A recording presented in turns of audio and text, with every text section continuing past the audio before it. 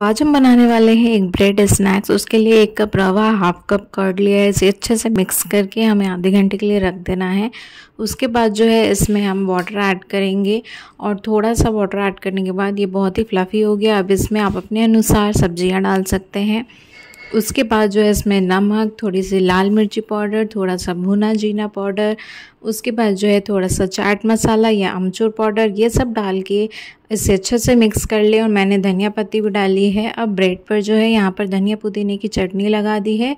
उसके ऊपर जो ये मिक्स करके बैटर लगाया था, बनाया था, इसे स्प्रेड कर देंगे। हमें चारों साइड से बहुत अच्छे से इसे फैला लेना है। ताकि ये सब जगह तक अच्छे से लग जाए। उसके बाद जो है तवे पर हमें इसे सेकना है। आप तेल, बटर, घी किसी में भी सेक सकते हैं। फ्रेंड्स, यकीन मानिए, ये बहुत ही यमी बनता है। और थोड़ा बहुत तो हेल्दी भी है ये, क्योंकि रवा, दही और इसमें ढेर सारी सब्ज़ियाँ डली हुई हैं।